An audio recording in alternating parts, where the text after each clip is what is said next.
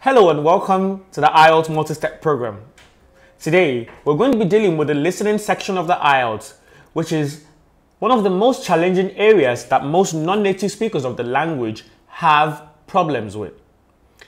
Why is this? For a lot of people, when you ask them, what is the challenge that you have with the listening? You hear things from, I can hear what they're saying, um, it's too fast for me. Um, some of the words are quite um, mumbled up or jumbled up and um, I have problems with maps, with interpreting maps in the listening. I have problems with the last section of the IELTS, with the IELTS of the IELTS listening, where you have one person talking for such a long time. All these challenges, all these complaints are the frequent things that you hear from most test takers. And over the years, we've compiled a series of tips that are guaranteed to help you navigate your way through all these challenges or the frequent challenges that most test takers have. For those of you watching from home, I would advise you to please avail yourself of a pen and a paper and take your time carefully to listen to every tip that I will be sharing in this video as they are practical tips that you need to take your time to put into practice and see how you can deploy them before the day of the test.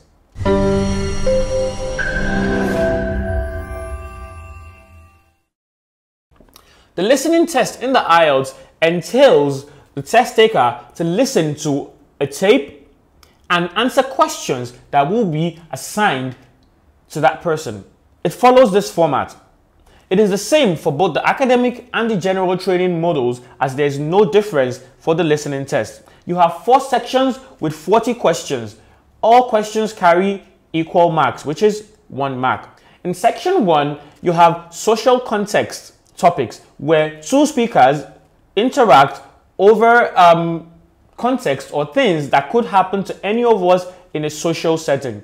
You could have um, examples of things that you could have there. You could have someone call to make an inquiry. You could have someone call to clarify uh, a deadline or a timetable. You could have also some. You could have someone also call to clarify a particular schedule.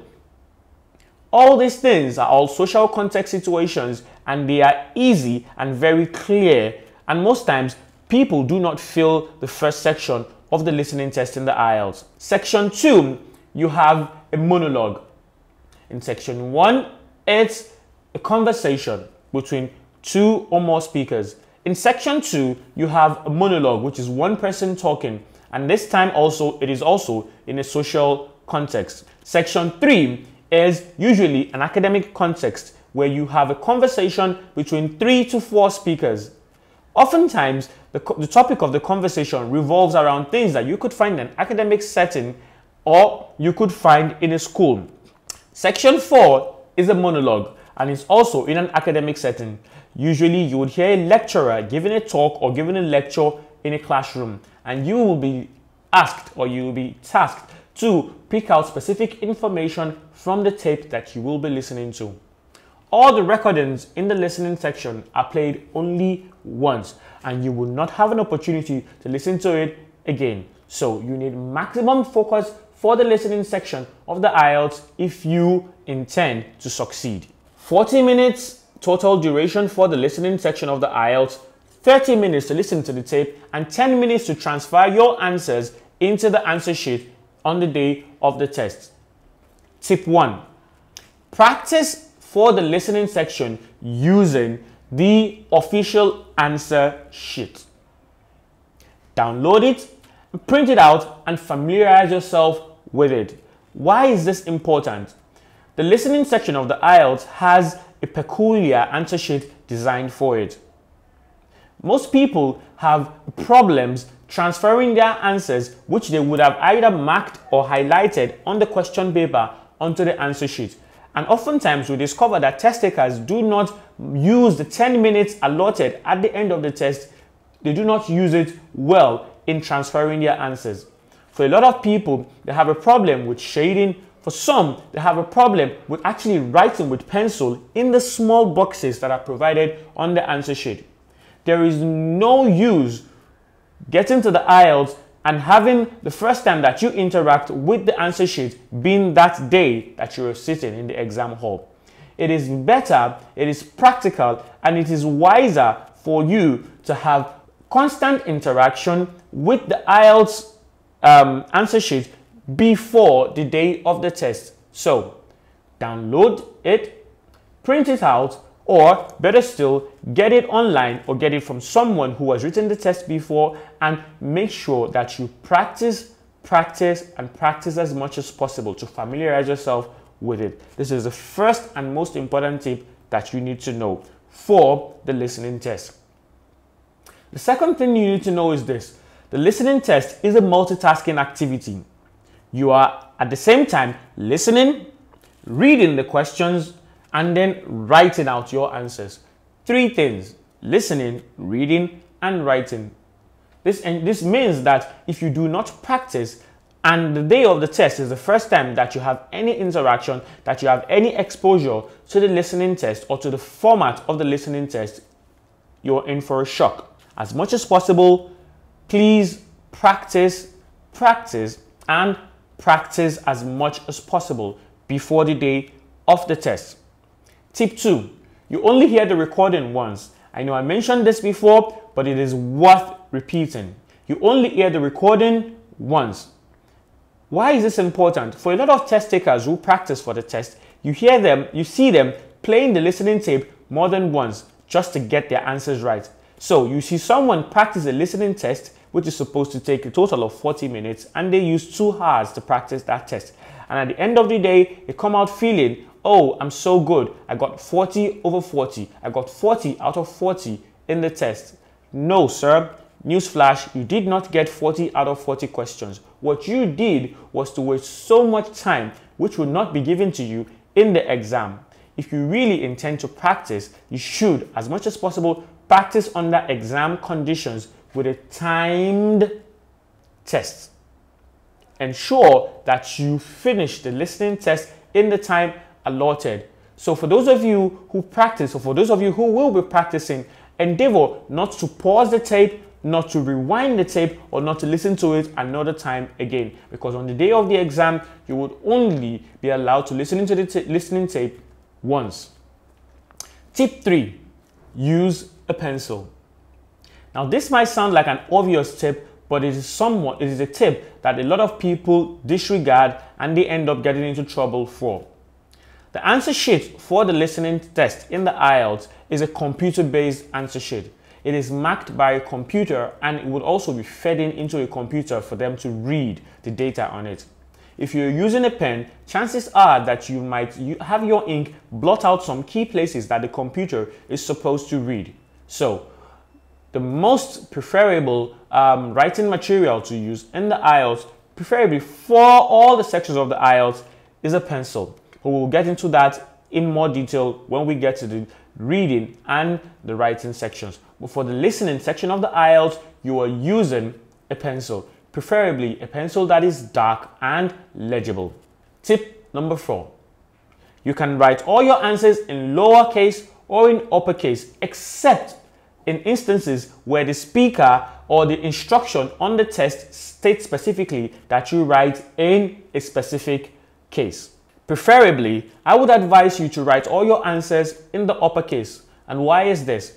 If you're writing in the uppercase, chances are that your writing is going to be much more legible, it's going to be clearer, and it's going to be quite big. And also, writing in the uppercase ensures that you automatically slow down the pace of your writing, which ensures that you would have lesser errors in writing, which will be smudged, or you're writing in a cursive and everything just goes in a sprawling arc that nobody can read. Ensure that your writing or that your answers are as legible and as clear as possible because there's no point in you getting down the correct answer which nobody or no machine can decipher.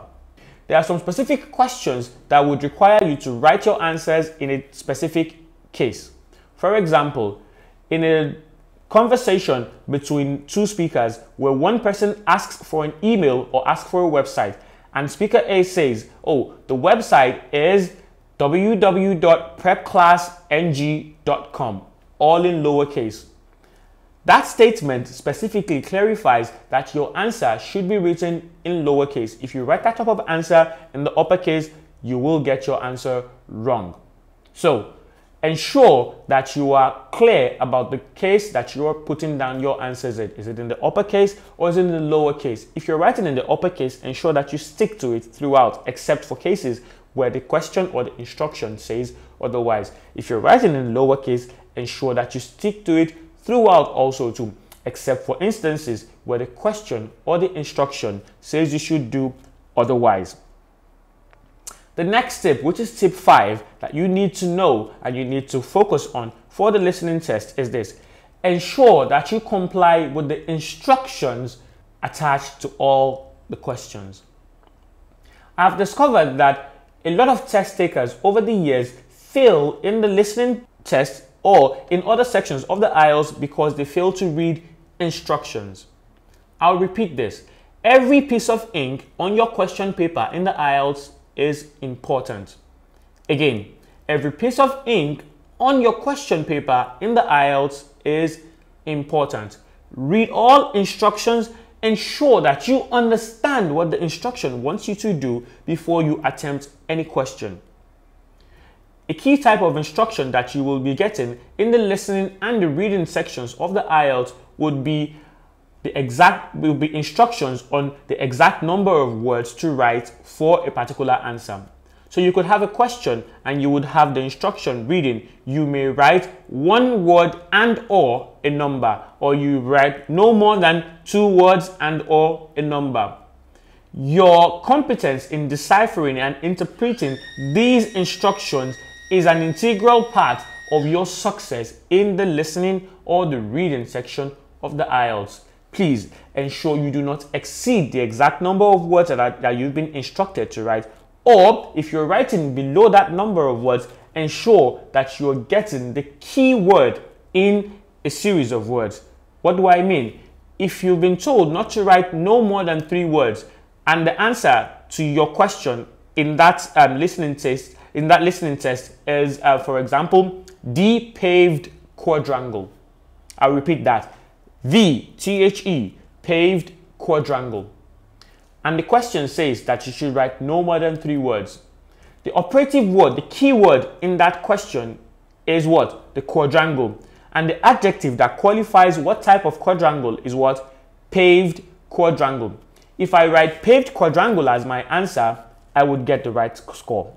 If I write the paved quadrangle, I would get the right score. But if I write depaved only without writing quadrangle, my answer would be wrong because quadrangle is the head word in that phrase.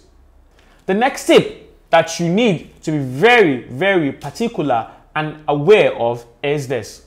Spelling is important in the listening test. It's a listening test.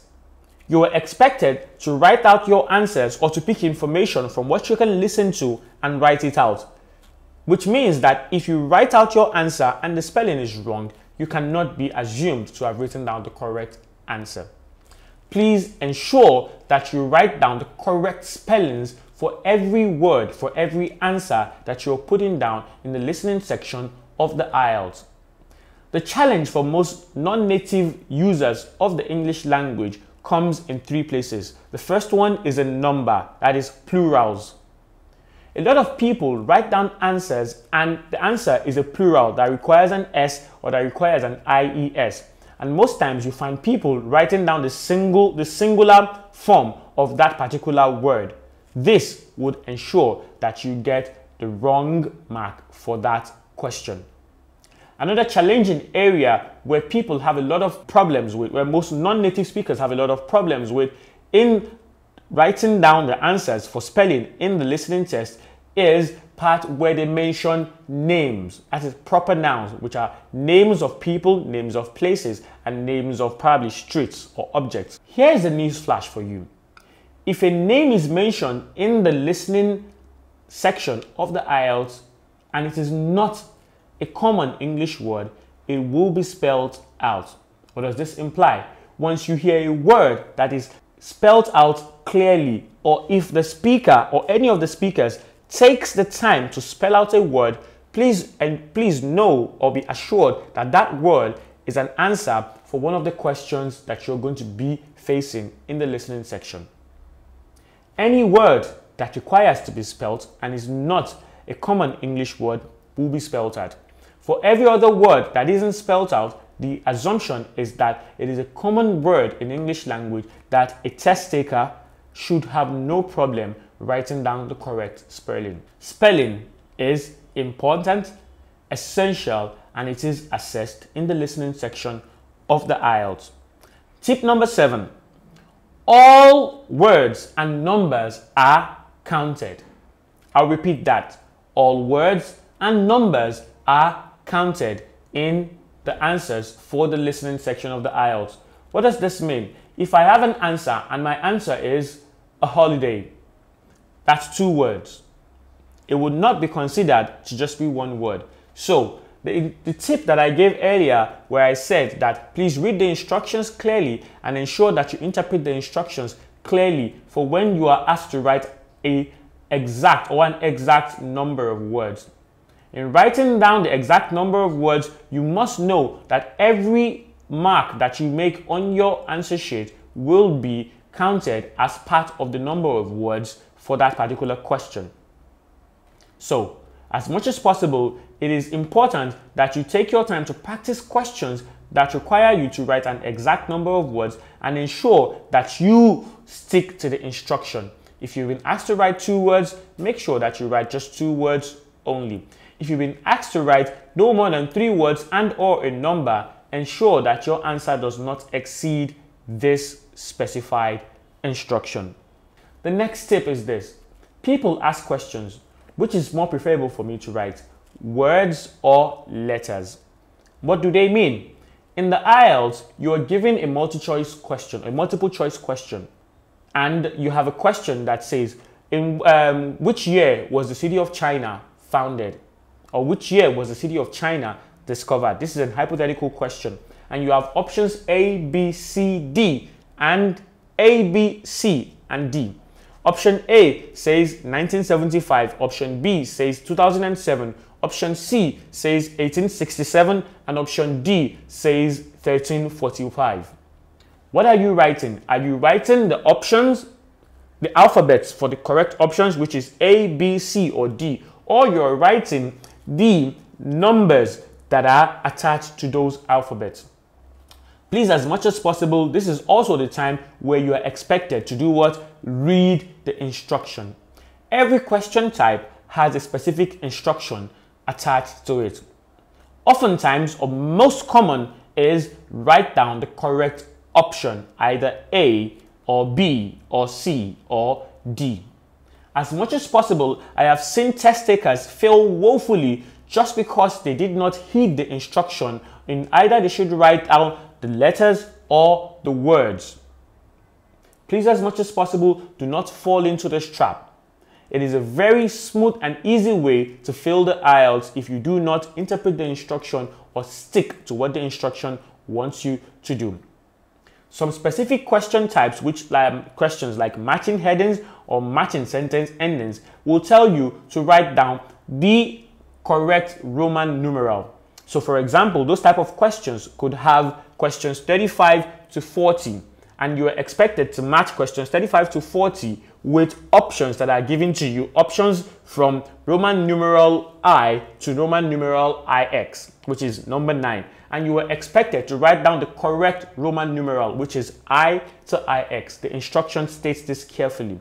If you go ahead and you do not write that and you write what is specified in if Roman numeral I has the sentence Lanre likes football and you go ahead and you write Lanre likes football in the exam, you would have failed that question woefully because the instruction says that you should do what? Write the correct corresponding numeral, not the sentence or the phrase that the numeral carries. This is a very easy way to miss out on the IELTS and I see a lot of non-native users of the language or test takers miss out on their desired scores for the IELTS because they make these flimsy excuses of an error. Please do not be part of them. Tip number nine do not try to understand everything in the listening tape. It is not possible. 30 minutes of listening tape for 40 questions. Chances are that for those 40 questions, you do not need information that exceeds 15 to 10 minutes. which means that the remaining 20 minutes is what? White noise. White noise that you need to tune out so that you can focus on the specific information that you need to answer the question. So, while focus is an integral aspect of the listening section of the IELTS, you do also need to be selective about what you're focusing on.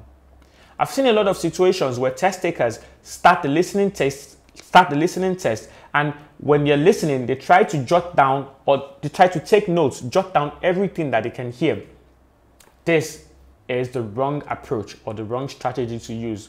And why is this? Because if you're listening to a tape and you endeavor to take active notes and jot down everything that you can hear, you do not know if everything that you've jotted is relevant or necessary to answer the questions. So, what should you do? Let the questions be your guide. For the listening section of the IELTS, you will be asked to look at the questions or read the questions first before you listen to the tape. This avails you the opportunity to predict or to focus on the specific areas of the tape that you need to answer the questions. Please do not focus on every single word or utterance that you can hear on, in the listening tape, but only on the specific areas that the questions direct you to. You cannot try to understand everything that will be said in the 30 minutes tape. It is impossible, it is difficult, and you are setting yourself up for failure if you do this. The next tip is this. Use the time given to you to check the questions before the tape starts effectively and productively. This is a tip that a lot of people disregard. The listening section of the IELTS requires a lot of focus, like I said before, and this puts an inordinate amount of fear in a lot of test takers. What happens is this before the listening tape starts, their minds are focused strictly on what they want to hear and they are prepping their mind, they're prepping themselves to start the to, to hear the start of the tape, disregarding the question paper that is lying right in front of them.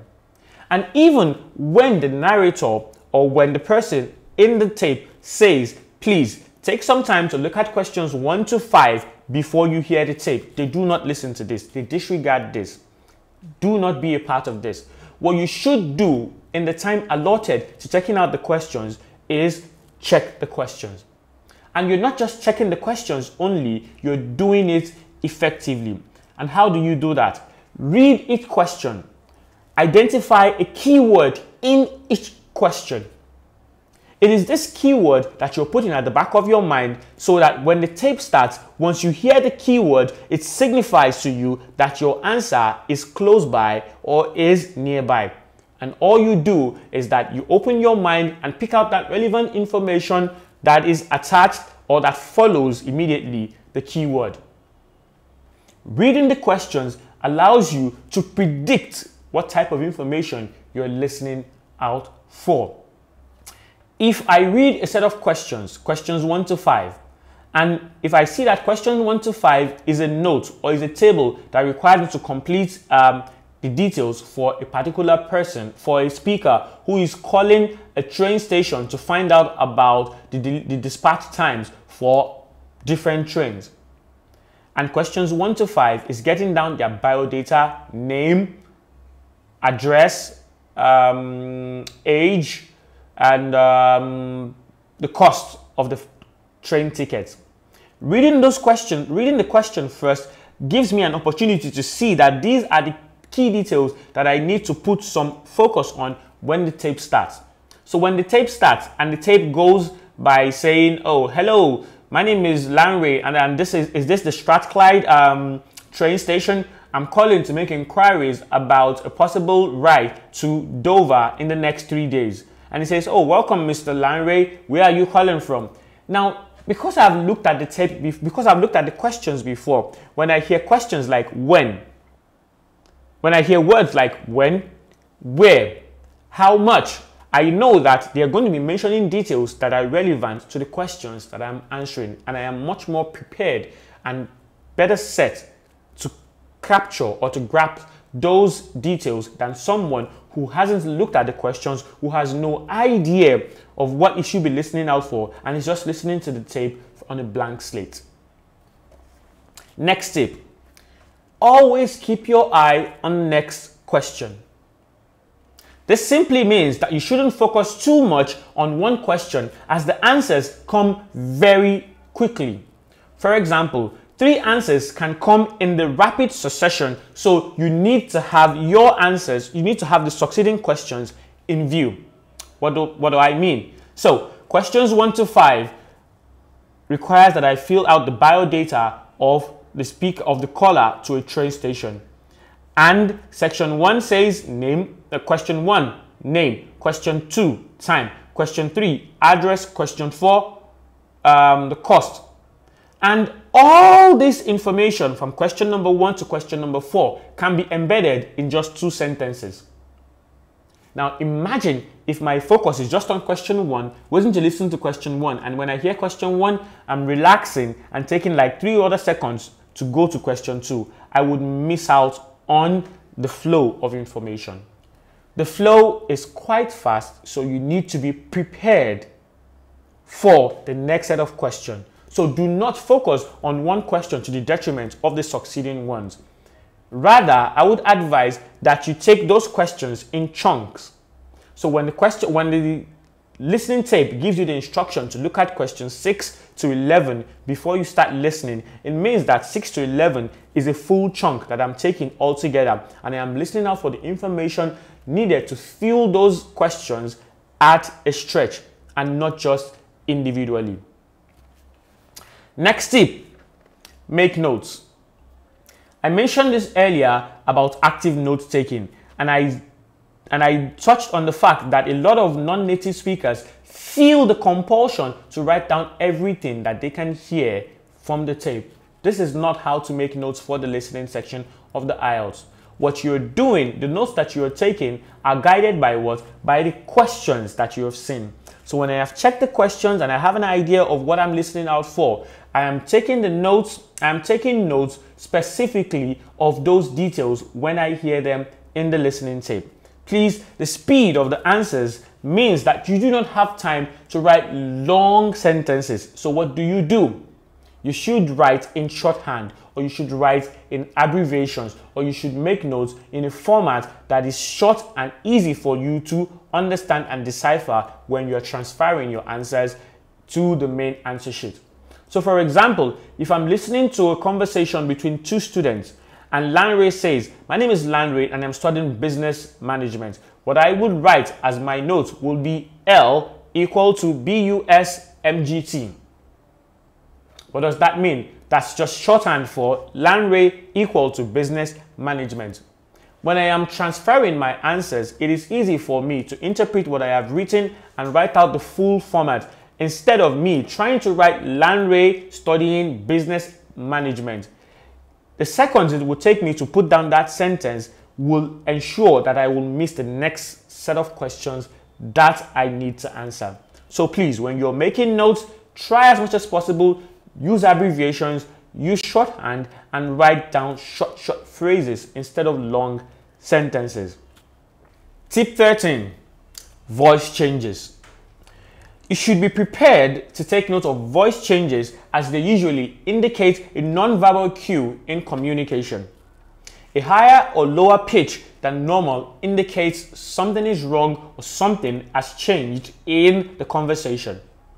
I'll give you a very classic example to illustrate this. There's a conversation between speaker A and speaker B. For the purposes of this um, example, we'll say speaker A is Aaron and speaker B is Lanre. Speaker A says, Speaker A, Aaron, Lanre, I'd like to visit you this weekend uh, for a timeout. Speaker B says, Okay, I stay in Ibadan. Ibadan is a rural, sleepy area rural sleepy town in the southwestern part of Nigeria. And Speaker A says, okay, what can we do for fun in Ibadan? And Speaker B says, well, we could visit the ShopRite Mall and we could also go to the cinema in Ibadan. And Speaker A says, ShopRite? Cinema? In Ibadan? Okay. And the question is this. When Speaker B replies, what, uh, what emotion does speaker B's reply or response convey to you? When speaker B says ShopRite, cinema in Ibadan, the pitch of his voice goes higher.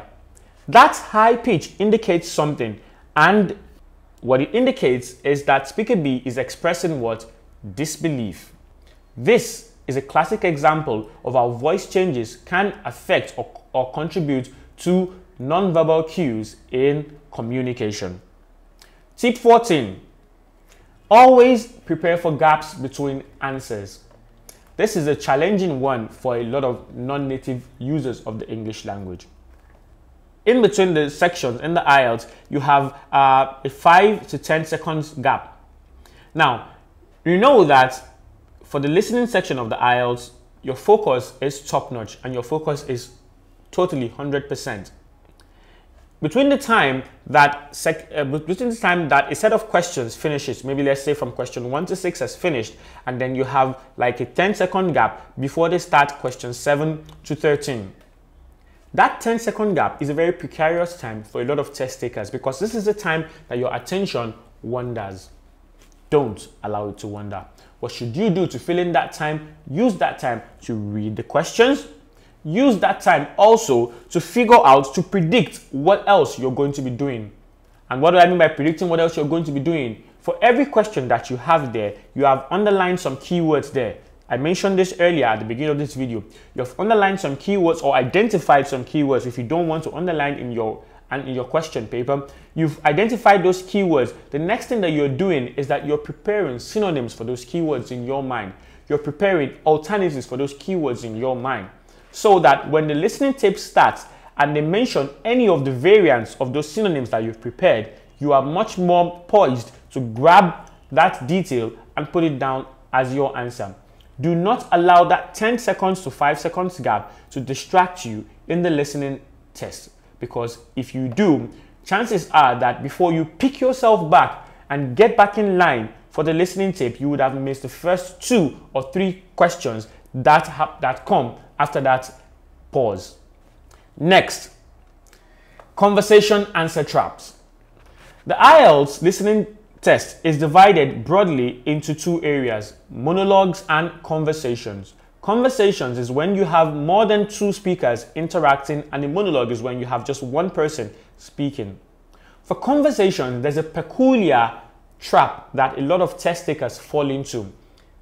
And this, and this trap is based on the fact that we do not listen, or most test takers do not listen carefully to the last utterance in a stretch of conversation between two or more people. What does this mean? Always listen to the last utterance in an exchange between two speakers as answers are usually hidden at the end because answers are often changed. In natural conversation, when you're talking to someone else or you're talking between two or three people, most times our decisions undergo two or three changes before we decide on a final thing. For example, in a conversation between speaker A and speaker B about what to eat for dinner tonight, speaker A says, could we take rice? And speaker B says, no, I had rice yesterday. I don't think I want to eat rice again. Let's take beans. And speaker B says, and speaker A says, no, beans upsets my stomach. Why don't we take a mixture of rice and beans? And speaker A says, we need to get stew before we can take rice and beans. So I think that might not be the best option for us to take. And speaker A says, okay, so what do we take then? And speaker A says, I think we should just go back to the original suggestion that you made earlier and take that one. What is the original suggestion? Rice. Now imagine that you, in your haste to answer the questions, the first thing that you heard was, what should we take? Should, what should we take? Speaker A says rice and, and speaker B says, no, let's not take rice, let's take beans. And you go ahead and you put down beans, waiting for the next question because you feel that you've gotten the answer to that one, not listening to the last utterance in that exchange between the two of them. This is a very significant pitfall for a lot of test takers and I have seen it accounts for why a lot of people fail the listening test. So do not fall into that trap. Ensure that you are calm and careful enough to listen to the last utterance in every exchange, in communication, in a conversation before you make a decision. The next tip that you need to know is this, is the role of synonyms and paraphrasing. When we started this um, IELTS multi-step program, I mentioned that synonyms and paraphrasing will feature prominently in all the sections of the IELTS as we will come back to refer to them over and over again. And this is one of those situations. Look out and listen for changed words and expressions in your answers and questions. When you read a question, you have identified a keyword in that question that you're going to listen out for in the tape. Once you hear that keyword in the in the tape, or once you hear a synonym or a variant of that keyword in the tape, it alerts you to the fact that the information that you need to answer that question is either close at hand or is the next thing that will be mentioned. The challenge for a lot of test takers who have gotten the hang of identifying keywords and listening out for the keywords is that they usually think that the keyword that they identified will be the exact thing that they would hear in the tape or that they would read in the passage that's for the reading uh, for the reading section of the IELTS and this often is not the case 8 out of 10 times you will have the keyword changed or a variant of it used that is a synonym used or the whole sentence or, or utterance is paraphrased. As much as possible, do not allow this to alarm you and do not get into any panic because of this. Your knowledge of synonyms is an indication of your language competence and it allows you to communicate effectively, which is why it plays such a prominent role in the IELTS. When we get to the practical section of this program where we will be, where we will be answering questions and dealing with different question types, we will illustrate how the use of synonyms can help you succeed exceedingly in the listening part of the IELTS. The next step, or the next tip, sorry, is to listen for plurals. Plurals are a very dicey and tricky aspect of grammar for most non-native speakers. A, non, a native speaker of the language might mention a particular plural of a word without the S being stressed. And this is where the challenge comes in for a lot of non-native test takers. They do not they do not hear the S or the IES that indicates plurality for most words. What they do here will just be the singular version of the word and they put that down, whereas the answer is a plural. For example, how many places, how many ways can we get to, uh, how many methods do we have of getting to heaven? And the answer is there are seven steps. And what you heard is there are seven steps. And you go ahead and you write step instead of steps. Your answer is wrong. Now, while this is not a question, it's just a hypothetical situation that I've used that, that I'm using to illustrate why plurals are important in the IELTS, it is a, it is something that you will encounter during your practice and I am sure and I'm very sure that you will practice before you go for the test because if you do not you're setting yourself up for failure. Listening for number, which is plurals in speaking, is one of the greatest challenges non-native users of the English language have. Remember that if you write a word without the S, it makes the spelling wrong and your answer wrong too. Use the questions to predict if your answer will be singular or plural. What does this mean? When you read a question, it would indicate if the answer that is needed to fill in that question is either a plural or a singular. Most times, if this question is in a sentence or if you're just putting uh, a word to complete a sentence, this is one of the easiest ways to decipher if you're needing a plural or a singular word to fill in the right answer. As much as possible, this is one part that you want to take note of so that you do not end up writing the correct answer in the wrong format. Another important tip that I have mentioned earlier when we were discussing the introduction to the IELTS multi-step program is guessing is highly recommended.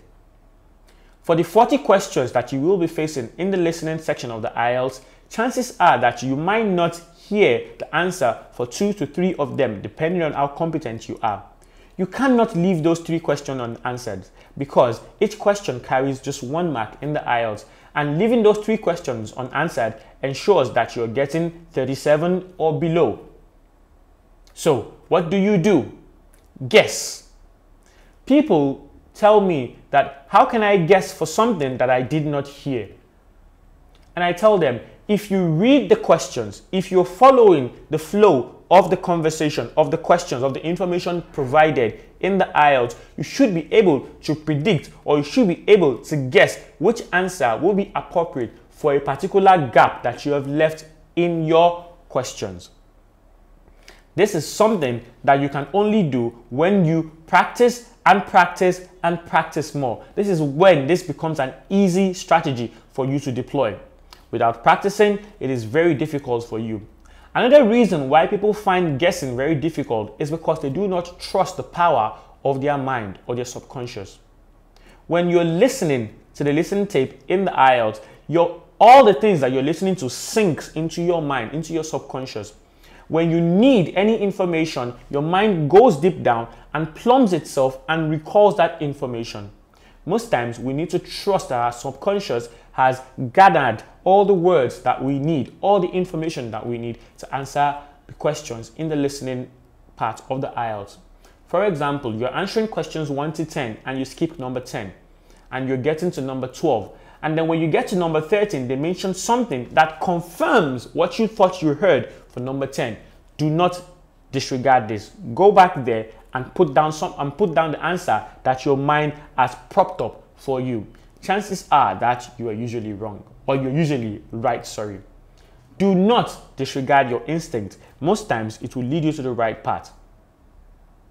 Finally, practice, practice, and please do practice before you enter the exam hall as there is no guarantee, there is no substitute for practice before success in the IELTS. Finally, I'll list out the different question types that you will be encountering in the listening section of the IELTS and in the practical session, in the practical video that I promised earlier, we will and we will deal with each question type and deploy and give you strategies that would ensure that you conquer any fear or any challenges that you might face. The question types that are most popular or that would come out of the listening section in the IELTS are multiple choice questions where you are expected to choose the right option out of four options given A to D.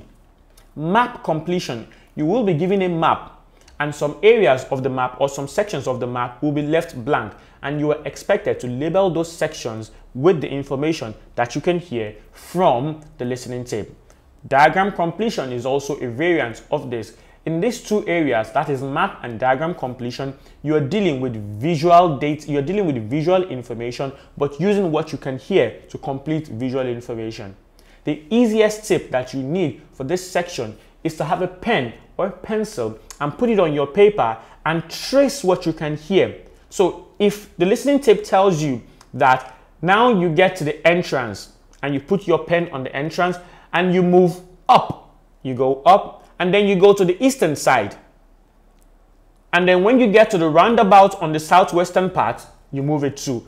This makes it easier for your mind and your eyes to follow through with the information as opposed to someone who just waits and is looking at the map and is listening to it. What that person is doing is that person is stressing their brain a lot because your brain is not only listening, absorbing the information from the audio um, format which is coming in, you're also looking at the visual information and plotting the graph or plotting that mental picture in your mind.